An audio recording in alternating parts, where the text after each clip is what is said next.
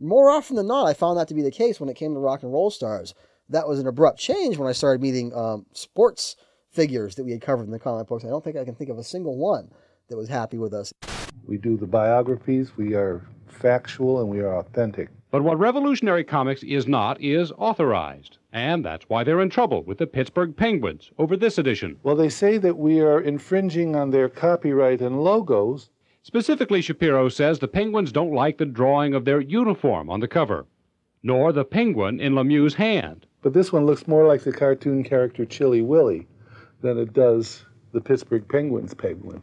Still, the Penguins are apparently taking Revolutionary Comics to court to stop them from selling this edition. It's a case they might win. They might win it by default. Uh, if they would have the nerve to come to San Diego and uh, sue us, we'll defend ourselves here. I don't think we can afford to defend ourselves in Pittsburgh. If the small comic company could fight, it could possibly win. And what does the subject of the unauthorized biography have to say about all this? Well, no word from the great Mario Lemieux. He was busy on the ice tonight. But even if he did object, sorry, Mario. Remember the First Amendment? And in fact, I got chased out of a convention one time by Pete Rose. Um, I didn't tell him I was the guy who wrote the comic book, but as I got him to autograph it, uh, someone recognized me, whispered to him that I was the guy, and he literally got up out of his chair, came out from behind the table, and chased me out of that room. Um, I sold that comic for about $150, as I recall.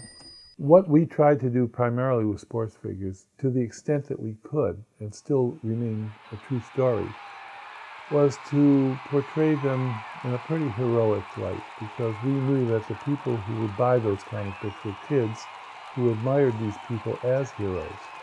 A fairly successful branch. Revolutionary fans were some of the most honest and uh, blunt people I've ever run into. Uh, if a book sucked, they would tell us. If we totally got something wrong, they would tell us. Um, and and that was cool. That was okay because it made us work harder.